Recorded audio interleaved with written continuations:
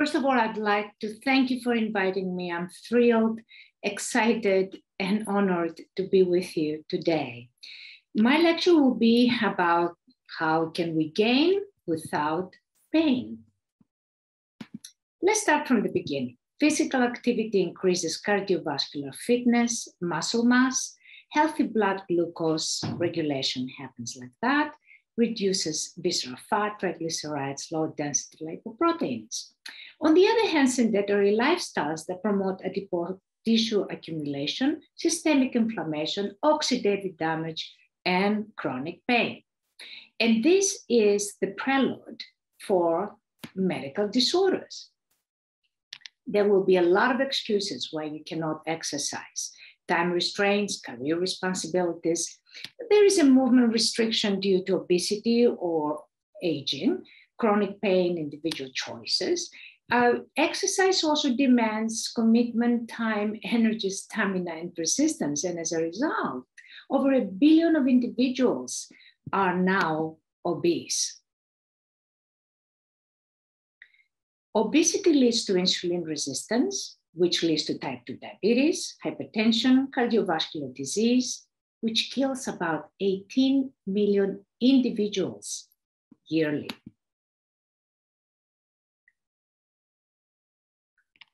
Visceral adipose tissue will lead to excess triglycerides, lipotoxicity, inflammation, non-alcoholic steatosis, the fatty liver, and cirrhosis. And this is what fatty liver looks like, not a pretty sight. This is what triglycerides is. You see how all these triglycerides are going inside your arteries and basically obstruct your blood flow. There is another major problem with visceral fat. It basically has the highest number of ACE2 receptors. This is the receptors in your cells that COVID 19, the spike of COVID 19, connects, fuses, and releases the COVID 19 contents into your cells. And that's when it hijacks your cellular machineries and starts duplicating itself. So the greater the amount of fat, the greater danger for severe symptomatology and for COVID 19 taking over.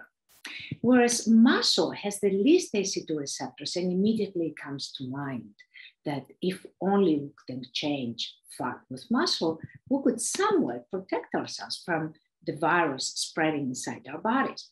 Recently, I published a book on COVID 19, and it's called checkmate by a protein invisible enemy and how dangerous it is because it mutates as it mutates it becomes more contagious unlike previous virus, viruses that when they mutated they became extinct. And also what are the uh, um, like if we can use exercise and intended to exercise to strengthen our immune system and basically help us protect ourselves from the disease taking over us and killing us.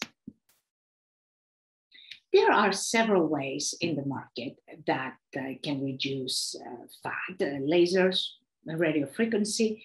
There are no peer reviewed radio frequency studies on visceral fat reduction, however. Yes, subcutaneous fat is great, but not the visceral fat. And that's what holds all the inflammation and toxicity, quite a lot of it. And there are laser studies that uh, report that there has been a visceral fat reduction. However, what they do, they combine laser treatment and exercise. So we don't know if it was the laser treatment or the exercise that gave you the results. And additionally, these studies, when they're duplicated, they do not offer external validity because when they're duplicated, they don't get the same results they don't get visceral fat reduction that they got in the first study.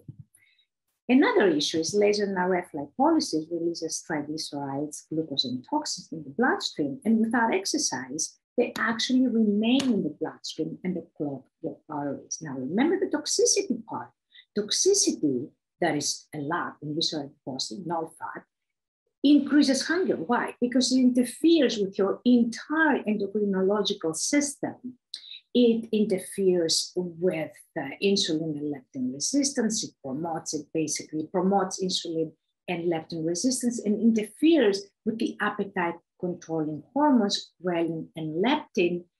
Ghrelin is an orexigenic hormone, basically increases appetite. Leptin decreases appetite, is an anorexic hormone. And because these are imbalanced, hunger increases. So toxicity increases hunger. The more toxic you are, the more hungry you are. So what can we do? How can we basically deal with the visceral fat that doesn't just wrap itself around its organs, but as we can see, it invades them. Like this is the fatty liver. It's invaded the fatty liver, cannot allow the liver to function. So it cannot be removed through radio frequency or, or lasers or ultrasound, not from liposuction, obviously, or plastic surgery. But what can we do about it? And why is visceral fat a problem? Again, inflammation and toxicity. I have all of these studies on the right that say just that. Uh, visceral fat will create uh, diabetes, cardiovascular disease, uh, injury, infection, arthritis, Alzheimer's, asthma, uh, lung cancers, and so on and so forth. So we have slimming with lasers and other methods. However, neither laser nor RF nor liposuction or plastic surgery will increase metabolism or balance hormones or decrease hunger. Therefore, results will rebound. Whereas fitness is a safer way of getting to that goal because it increases metabolism, balances hormones, reduces hunger. Therefore, there will be no rebound of results, which is the desirable effect. Now, a lot of results we can get with exercise. Exercise will reduce the visceral fat and will reduce uh, uh, BMI and uh, give us fitness. However, BMI does not go down with just uh, four months of exercise. It takes much longer. Also, fitness. You see visceral fat reduction, but you don't see the fitness or the BMI decrease in a very short time. Well, short time, four five months. It takes much longer. And of course, exercise balances hormones. But it's easy to exercise if you're young and fit, but what about if you're overweight or if you're old? That's not as easy. Now, very strenuous exercise that's necessary to get rid of visceral fat, with overtraining, you cause hormonal imbalance. Cortisol and testosterone have this inverse relationship. When cortisol goes up, testosterone goes down.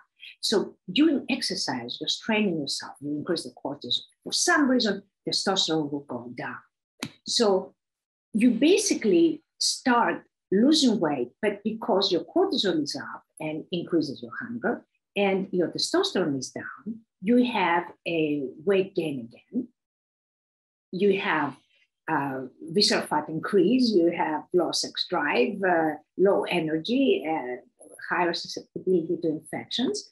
And it's basically all the benefits of exercise are compromised.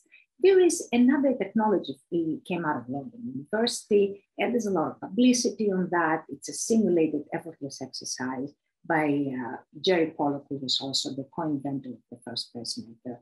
And he started uh, uh, 27 years of research. Now we have about 40 years of research on this uh, same technology. Initially, Goldberg on, in London University looked at gene expression and we found a rapid muscular hypertrophy, 250% increase in the RNA content of the muscles, and repression of the fast type genes and activation of the skeletal slow type genes.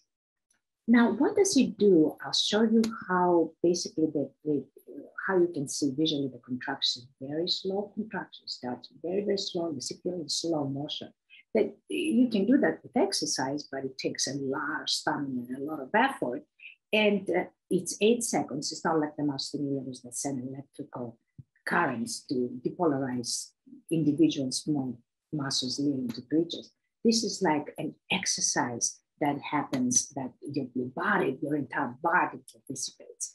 And there's a lot of papers, most of which I've brought, and in many different journals. In the Journal of Aesthetic Nursing, there is a paper with exactly the same name of this uh, lecture, again without name beyond sports, effortless exercise solution. Um, there are, we cannot find all that in Google Scholar. If you go there and you put my name, Xanya Sofra, you can see all the articles, scientific research publishing, more articles. Um, uh, these are all clinical trials and uh, other publishing journals, uh, different journals, so Journal of Endocrinology, Metabolism Research, other journals. And let me give you what basically is the procedure, more or less. First is a blood test with a test for different variables, uh, metabolic, T3, CRP, that's inflammation, uh, fasting, BP, NBP, insulin and glucose. Uh, if you do diabetics and pre-diabetics, then you have a uh, Bricodantas scale measurement that measures BMI, overall fat, uh, VAT, and uh, muscle mass. You have sonograms, and you do the procedure. You do a uh, one hour procedure, 12 or 15 treatments, and then you test the same variables again, and you do sonograms again to compare before and after on the same subjects. And what we saw, you can see the results on testosterone and cortisol. What you see is that all subjects, cortisol went down, testosterone went up. That's the opposite that we saw with exercise here. Um, with exercise, cortisol goes up, testosterone goes down. Here, the mean average testosterone increase was plus 42.23%, and the cortisol decrease percentage was 18.42%. Leptin and ghrelin, very important. What you saw is that leptin, the anorexic hormone, went up, plus 10.82%. And the ghrelin, the orexigenic hormone, the one that increases the appetite, went down 7.35%. Very important. All of these fluctuations were within the normal range because you don't want the leptin to be too high, then you have hyperlipidemia. Now, you, you don't want the ghrelin to go very low because ghrelin is anti-inflammatory. So it has to be within the normal range. And that's what we saw, that basically people that had higher above the normal range, it was reduced, and those who had below the normal range, it was increased. Now, what we saw with uh, blood glucose, with diabetics, uh, fasting, and BP, what we saw is that you see how the diabetics, uh, they had fatty liver previously and diabetes, they went down, the uh, blood fasting glucose percentage was 38.44%. But you can see that most of them, some of them got to the normal level, but a lot of them got into the pre-diabetic, like a step down. And uh, the uh, PP glucose, uh, again, was minus 39.1. And again, some of them got uh, down to even from diabetic to normal. And uh, a lot of them went from diabetic to pre-diabetic. And when we looked at uh, pre-diabetics, most of them went down to normal. A couple of them remained at the diabetic, pre-diabetic level. Both the fasting insulin and the PP insulin and we found a uh, fasting, fasting insulin decrease of minus 54.52%, and the PP insulin decrease was minus 44.7%. Triglycerides, we did it different for diabetics, and for diabetics, we did not want to confine the results. And we found a percentage of the triglycerides decrease was minus 28.56%. And the high density lipoprotein, because you want the triglycerides to be down, high density lipoprotein to be up.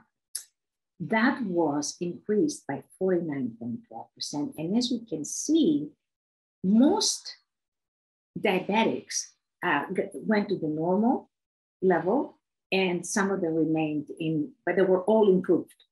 And same thing with the HDL. Most of them improved, and some of them got into the normal level. Now, when we looked at uh, pre-diabetics, the results obviously were much better because they were much better off to start. They were healthier to start with. So average decrease in triglycerides was minus 22.88, and the increase in DHDL was 30.34. And you can see most of them went from pre-diabetic levels went to normal levels. And again, with the HDL, went to the normal level of HDL, which is very significant because you make these people be healthier. Now, BMI, overall fat, visceral fat, skeletal muscle mass, what we saw is BMI decrease was minus 7.5. Mean average overall fat decrease was minus 26.14. Mean visceral fat decrease was minus 28.17. Mean SMM increase was plus 28.02. Now, remember, if the diabetics and pre-diabetics, they're not going to show as much as normal person. Normal people show oh, much higher uh, visceral fat decrease, but um, the diabetics, pre-diabetics, they just need more treatments. And this is the uh, t-test statistical significance results. Everything was very highly significant. Blood glucose fasting NPP for the diabetics, insulin fasting NPP for the pre-diabetics, triglycerides for the diabetics and the pre-diabetics, and uh, um, uh, also the uh, upper abdomen reduction CM was uh, minus 965. Only 12 treatments for that, that's all the cut measurements. Umbilicus reduction CM was minus 1032 and lower abdomen was minus 11.5. We saw an inflammation decrease uh, that was significant, very significant. BMI decrease was very highly significant. Overall visceral fat decrease, very highly significant. Remember, all people with fatty liver, after sonogram reports, we saw no fatty liver after the uh, 15 treatments. Skeletal muscle mass increase, very significant. HDL for diabetics and diabetics again, really separate them. Very significant. Uh, free the metabolism was significantly improved. This is after three treatments. We could only use certain pictures that people gave us uh, release, uh, signed release forms for. This is uh, six treatments. Before and after 15 treatments. Before and after 15 treatments. This is some people got amazing results, some of them more moderate results, depending on their body and metabolism and where they started and how uh, healthy were to start with before and after 15 treatments. This one, before and after 15 treatments again, this particular one. Now, in other studies, what we did is we looked at creatinine and bilirubin. Creatinine exits the body as a waste product. And bilirubin, basically, if you have it in excess, indicates liver problems. What the reason why we looked at those two variables is that so many papers, research papers on COVID-19 patients, they indicated that they had elevated creatinine and bilirubin. They were even looking at them as markers of uh, the illness, of COVID-19 illness. And what we found is the mean average creatinine percentage decrease was minus 19.67, and the mean average bilirubin decrease percentage was minus 69.23. So that was very, very significant again. We looked, of course, at the CRP inflammation. That is very important. And we, and cortisol, again, we saw, we saw a minus 17.47% in cortisol percentage decrease. Everybody had that result, but it's how the percentage with which it was decreased, but everybody had a cortisol decrease. And mean average uh, CRP decrease was minus 36.87%. Again, everybody, the CRP was decreased in all subjects, 100% of subjects. And what we saw again, the mean average VLDL decrease was minus 8.13. This is percent. That was more, um, not as healthy. they Hypertension, there was CVD, diabetes. So the, the more advanced the medical disorder, the more time they need to go back to the normal status. Again, mean average triglyceride decrease was uh, minus 14.9, again, because that sample had major problems. VLDL, triglycerides, free T3 metabolism, bilirubin, creatinine, CRP, cortisol, HDL, that's the high density lipoprotein, the good cholesterol. Visceral adipose tissue, uh, BMI, and of course the uh, reduce the reduction of uh, CM in the umbilicus and above and below the umbilicus were all very, very highly significant according to statistical stats. And this is uh, before and after 15 treatments. This is only one treatment. This again, only one treatment. This is one treatment, and you can see the muscle toning of even one treatment that you could see happening. And That's why we included this picture. You can see it works very fast. It's a, it's a high speed, effortless exercise, basically. And uh, this is our clinical research board. Um, we have more clinicians now that they conduct research for us. And it's international. It's from England, United Kingdom, um, Aruba, Netherlands, uh, India, Japan, United States, uh, Hong Kong, and Singapore. And with this, I would like to thank you very much for inviting me and allowing me to give you all this information. And if you do have any questions, please get in touch with me at science at iellios.com. I'll be happy to answer any questions that you may have and also give you any research papers that you would like to have.